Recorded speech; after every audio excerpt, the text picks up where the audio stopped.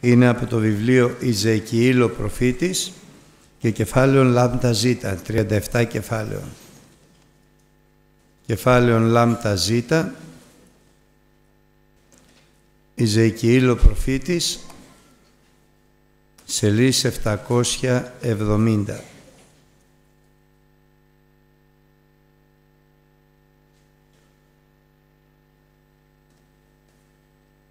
Χείρ Κυρίου εστάθη επεμέ και με εξήγαγεν ο Κύριος διαπνεύματος και με έθεσεν εν μέσω παιδιάδος και αυτή το πλήρης οστέων και με έκανε να διέλθω πλησίον αυτόν κύκλο-κύκλο και ειδούησαν πολλά σφόδρα επί το πρόσωπο της γης επί το πρόσωπο της παιδιάδος και ειδούησαν κατάξυρα.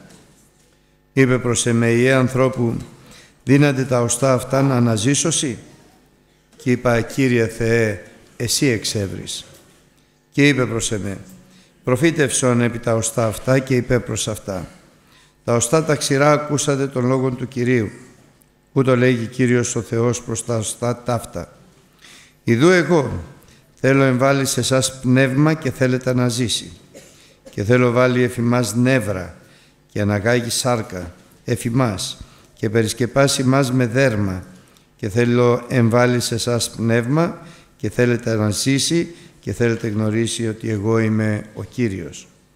Και προεφήτευσα ως προσετάχθην και καθώς προεφήτευσα έγινε ήχος και ιδούς σεισμός και τα οστά συνήλθον ομού οστούν μετά του οστού αυτού και είδον και ειδού νεύρα και σάρκες ανεφύησαν επ' αυτά και δέρμα περιεσκέπασαν αυτά επάνω. Πνεύμα όμως δεν είναι το ένα αυτής και είπε προς εμέ «Προφήτευσον επί το πνεύμα, προφήτευσον ιέ ανθρώπου και είπε προς το πνεύμα ούτω λέει Κύριος ο Θεός. Ελθέ πνεύμα εκ των τεσσάρων ανέμων και εμφύσισον επί τους φωνευμένους, πεφωνευμένους τούτους και ασαναζήσωση. Και προεφήτευσα ως προσετάχθην και το πνεύμα εισήλθεν εις αυτούς και ανέζησαν και στάθησαν επί τους πόδας αυτών στράτευμα μέγα σφόδρα σφόδρα και είπε προς εμέ «Οι ανθρώπου τα οστά ταύτα είναι πάσο οίκος Ισραήλ. Ιδού ότι λέγουσιν τα οστά ημών εξηράνθησαν και η ελπίς ημών εχάθη ημί συμφανίστημεν. Δια τούτο προφήτευσον και είπε προς αυτούς σου το λέγει Κύριος ο Θεός. Ιδού λαέ μου, εγώ ανοίγω τους τάφους σας και θέλω σας αναβιβάσει εκ των τάφων σας και θέλω σας φέρει στην γη του Ισραήλ και θέλετε γνωρίσει ότι εγώ είμαι ο Κύριος όταν λαέ μου ανοίξω τους τάφους σας και σας αναβιβάσω εκ των τάφων σας και θέλετε δώσει το πνεύμα και θέλω δώσει το πνεύμα μου σε εσάς και θέλετε να ζήσει και θέλω σας θέσει εν τη γη ημών και θέλετε γνωρίσει ότι εγώ ο Κύριος ελάλησα και εξετέλεσα λέγει Κύριος Αμήν. Η Εζεκίλ που σημαίνει ο Θεός είναι η δύναμή μου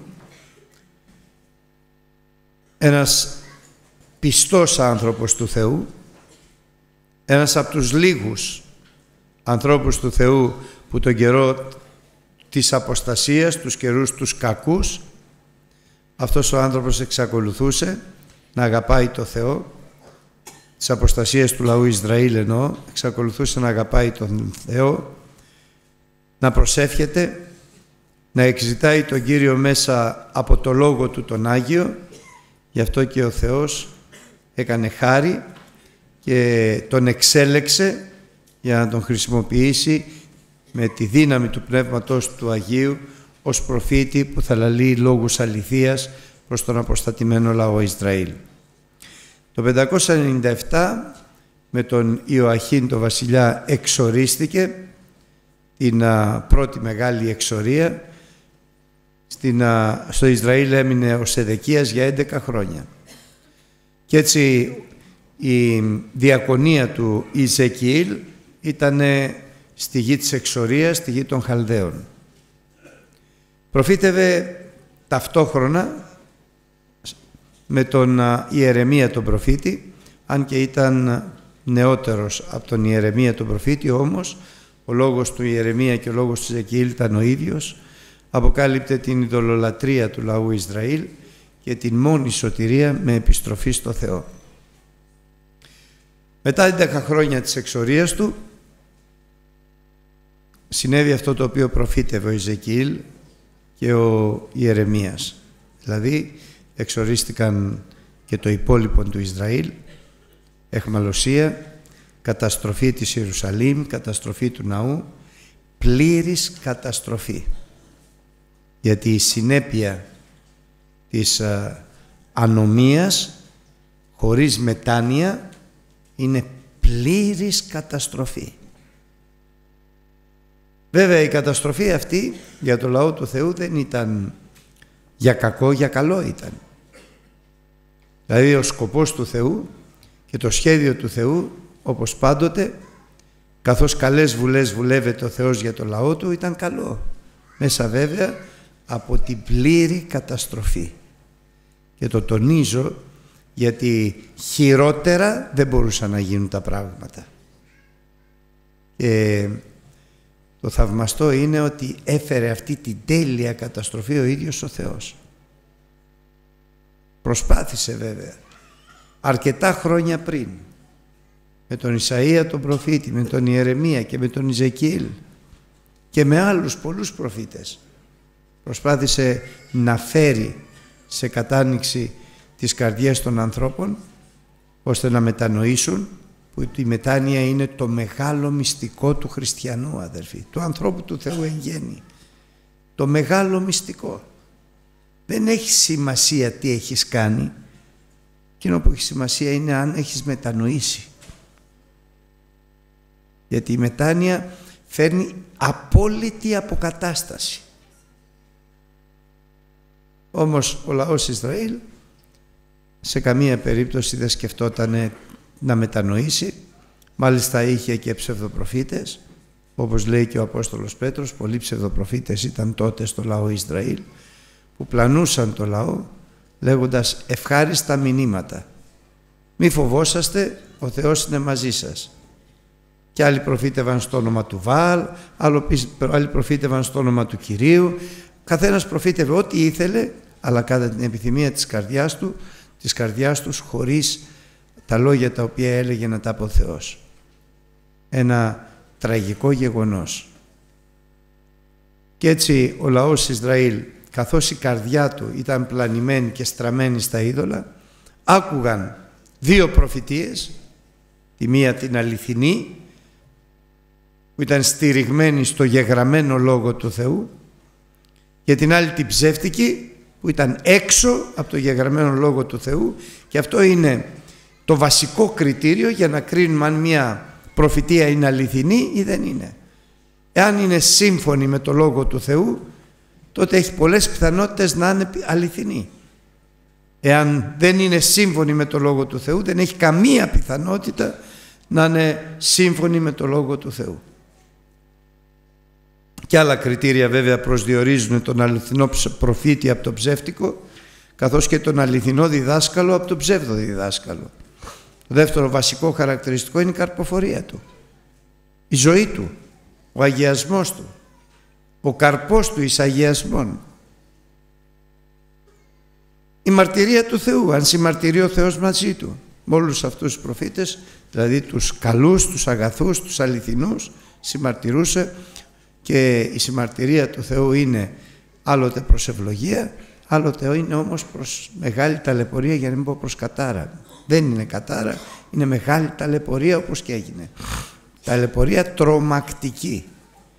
Πλήρης καταστροφή της Ιερουσαλήμ, γκρέμισμα του ναού, άδειασμα από κατοίκους Ιερουσαλήμ, εξορία και εχμαλωσία. Όταν λοιπόν ο Ισεκιήλ είδε εκεί στην εξορία και τους υπόλοιπους Ισραηλίτες ταλαιπωρημένους. Ύστερα από αυτή η ταλαιπωρία έγινε ύστερα από μεγάλη αποστασία. Αλλά και ύστερα και από μεγάλο κακό. Δηλαδή ήρθαν τα στρατεύματα του Ναυγοδονόσορα και κατέστρεψαν, σκότωσαν, έσφαξαν και όσοι απέμειναν εξορίστηκαν. Είδε λοιπόν αυτούς τους ανθρώπους και η καρδιά του έσπασε. Πώς κατάντησε έτσι ο λαός; Πώς κατάντησε έτσι ο λαός του Θεού; Πώς μπορεί να καταντήσει έτσι ένας άνθρωπος του Θεού; Τόσο κακό. Τόσο κακό. Και περισσότερο αδερφοί αγαπητοί. Και μέσα σε αυτή τη θλίψη που ήταν άκουγε και τους ανθρώπους που έλεγαν τα οστά ημών εξηράνθησαν δηλαδή δεν έχουν ίχνος υγρασίας, ίχνος χαράς. Η ζωή τους εξηράνθησαν. Η ελπίσιμον στους ψεύτικους προφήτες στην ψεύτη προφητεία έξω από το Λόγο του Θεού η ελπίσιμον χάθηκε και εμείς αφανιστήκαμε 586, 11 χρόνια μετά την εξορία του Ιζεκίλ, η οποία έγινε αυτοπροαιρέτως μαζί με τον Ιωαχήν και ο Θεός εκεί τους είχε ευλογήσει αυτούς τους ανθρώπους. Τώρα όμως τα πράγματα δεν είναι ίδια. Τώρα τα πράγματα είναι πολύ άσχημα. Δεν φαίνεται να υπάρχει γιατριά. Δεν φαίνεται να υπάρχει γιατριά. Και είναι μερικές φορές καταστάσεις που φαίνεται ότι δεν υπάρχει καμία γιατριά τις οποίες ζει ο λαός του Θεού. Ζει το περιβάλλον του λαού του Θεού. Ζουν οι άνθρωποι δίπλα μας. Εμείς έχουμε ένα ωραίο παράδειγμα αδερφοί αγαπητοί. Φοβερό παράδειγμα. Την πατρίδα μας μια χώρα που δεν υπάρχει γιατριά Ανθρωπίνως δεν υπάρχει τίποτα. Δεν μπορείς να πεις ότι κάποιος μπορεί να κάνει κάτι στην πατρίδα μας. Και από φυσικής απόψεως, αλλά και από πνευματικής απόψεως. Οι άνθρωποι αυτοί είναι δεμένοι μέσα στην απόλυτη αμαρτία, σαρκολατρία, πλεονεξία, κακία, φθόνος, μίσος, όλα τα έργα του, του της σαρκός πορνεία, μοιχεία, ακαθαρσία, διαστροφή, τα πάντα. Το δε θρησκευτικό περιβάλλον σε απόλυτη αποστασία, πλεονεξία, αμαρτία, εν γέννη όχι όλοι, και έξω εντελώς από το Λόγο του Θεού. Δεν υπάρχει ελπίδα. Όπως δεν υπήρχε τότε ελπίδα και οι Έλληνες είναι σε εχμαλωσία. Και οι μέρες γίνονται όλο και πιο κακές. Το κοινωνικό κράχ επεκτείνεται στην Ελλάδα. Η πείνα σαν γάγκρενα τρώει όλο και περισσότερα άτομα. Οικογένειες. Δεν ξέρουμε ακριβώς, δεν μας λένε ακριβώς τι γίνεται, αλλά είναι φοβερές οι καταστάσεις. Εμείς μέσα στην Εκκλησία ζούμε ένα διαφορετικό, σε ένα διαφορετικό κόσμο. Και αν μάλιστα δεν έχουμε, που δεν πρέπει να έχουμε και τηλεοράσεις, τότε είμαστε σε ένα ευλογημένο, σε ένα ευλογημένο περιβάλλον γιατί δεν χαλάει η ψυχή μας. Ευχαριστούμε το Θεό. Όμως και ο Ιζεκίλ αυτό έλεγε. Εγώ καλά είμαι. Ήταν με το Θεό. Μην ξεχνάτε ότι ήταν ο Δανιήλ εκεί. Και εμείς που ήρθαμε πρώτοι εδώ καλά είμαστε. Αλλά έβλεπε τους άλλους και πόναγε η ψυχή του.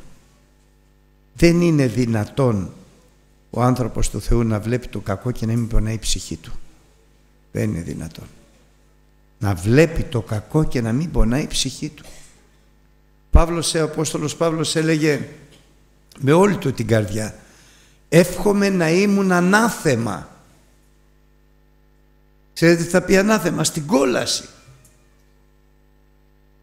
Αν ήταν δυνατόν αυτό να έφερνε σωτηρία στους ε, αδελφούς μου τους κατασάρκαν. Γιατί έχουμε συγγενείς, έχουμε αδέλφια, έχουμε ανήψια οι οποίοι ζουν μέσα σε αυτή την κατάσταση. Γείτονες, φίλους. Μέσα σε διαλυμένες και διασκορπισμένες οικογένειες. Ο αλκοολισμός και οι πάσης φύσεως εξαρτήσεις αυξάνονται ραγδαία. Γιατί οι άνθρωποι ψάχνουν να βρουν παρηγοριά στη ματαιότητα.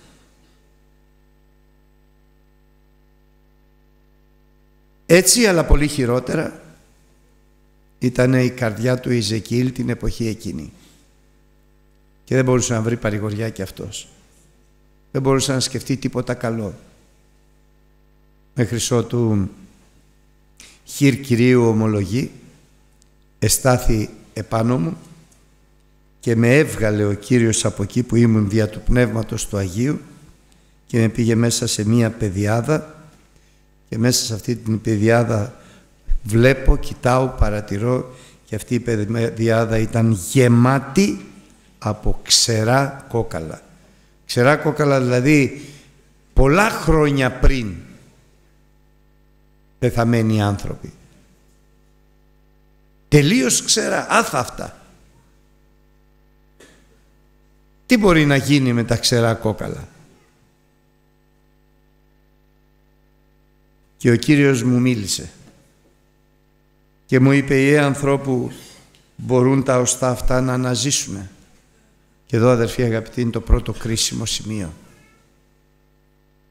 Θα μπορούσε να απαντήσει ο Ιζεκίλ όχι και να τελειώσει εκεί η πνευματική του η εμπειρία. Το όχι της απιστίας. Ο Ιζεκίλ όμως είπε λόγια ελπίδας. Δεν μπορώ να πω ότι είπε λόγια πίστεως. Και πώς να βρει λόγια πίστεως αυτό το θέαμα.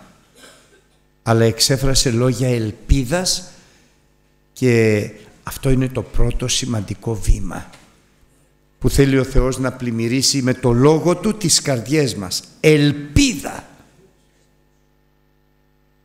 Σε σένα Κύριε είναι τα πάντα δυνατά. Δεν υπάρχει τίποτα αδύνατο.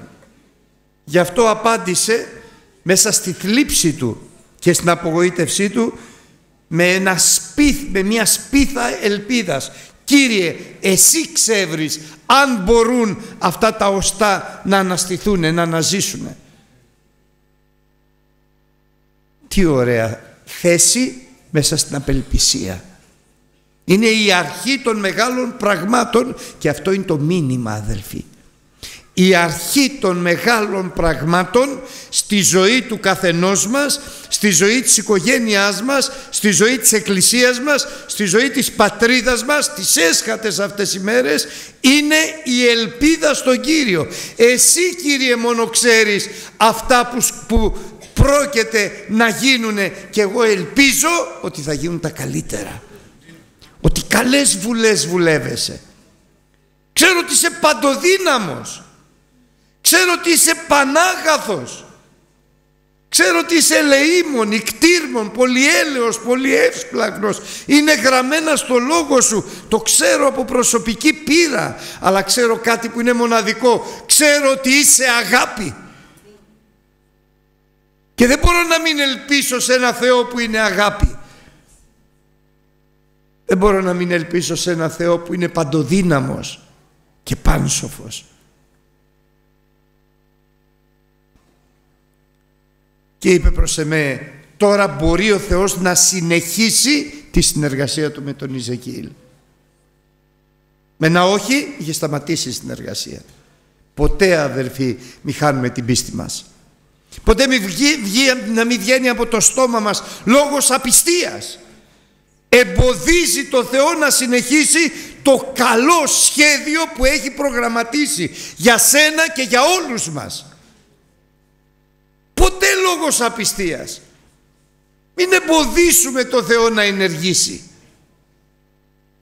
Δεν λέω να λέμε λόγια πίστεως που δεν έχουμε. Γιατί αν είχαμε πίστη ως κόκκος συνάπεως, εμείς θα κάναμε ό,τι θέλαμε. Εν το ονόματι του Κυρίου των δυνάμεων. Δεν λέω αλλά και ο Θεός δεν ισχυρίζεται ότι έχουμε πίστη. Αλλά ο Θεός θέλει να μας βάλει μία αχτίδα, μία σπίθα ελπίδα σήμερα μέσα στην καρδιά μας για όλα τα ζητήματα που μας απασχολούν γιατί τα γνωρίζει πριν τα γνωρίσεις εσύ και έχει ετοιμάσει τη λύση πριν εσύ το φανταστείς και σκεφτείς και προσευχηθείς. Ελπίδα. Και σε αυτή την ελπίδα ο Κύριος είπε προφήτευσον λοιπόν τότε έπειτα ως τα αυτά εσύ γιατί ο Θεός για να ενεργήσει χρειάζεται συνεργάτη. Να το ξαναπώ αυτό. Χωρίς τη συνεργασία του ανθρώπου ο Θεός δεν μπορεί να κάνει τίποτα. Γι' αυτό εκλέγει ανθρώπους.